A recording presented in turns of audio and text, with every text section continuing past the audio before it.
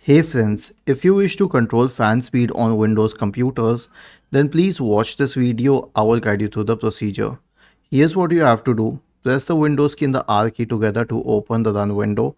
Type the command powercfg.cpl and hit enter to open the power options window.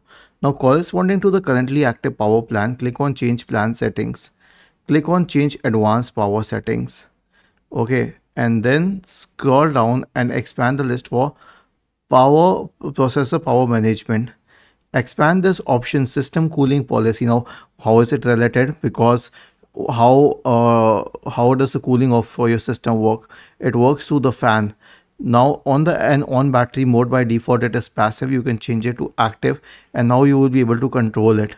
And for plugged in it is usually active by default but if not you can change it. Click on apply then on ok and then uh, cancel it. This is the maximum you can do to control the fan speed which will now depend upon the applications.